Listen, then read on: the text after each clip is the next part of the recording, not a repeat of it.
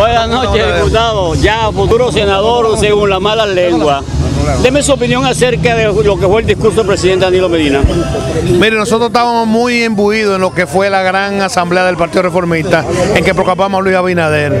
Yo quiero decirle que el- los discursos del ingeniero Federico Tumballe y el discurso de Luis Abinader en la Gran Arena del Cibao fueron un mensaje de esperanza de la posibilidad cierta de alternancia en la República Dominicana y de vientos de cambios que se acercan en todos los niveles de elección el próximo 15 de mayo. Diputado, eso quiere decir que lo que diga el presidente Danilo Medina y lo- y los voceros del PLD no tiene significación. No, para no, ustedes? no, que nosotros queremos que la población vote en función de las propuestas que estamos enarbolando. Hábleme de el domingo, el domingo se dio un gran banderazo. El Partido Reformista oficializó casi el más del 50% de sus candidaturas en los niveles congresionales y municipales y estableció ya como candidato presidencial de nuestra organización al licenciado Luis Abinader Corona. Hábleme de las famosas encuestas Gallup, las dos, la diferencia en puntaje para uno y el otro candidato. Bueno, las encuestas, la Galo y ¿Está de otras encuestas y otras encuestas lo que reflejan que alguien viene subiendo y que alguien viene bajando. En estadística lo más importante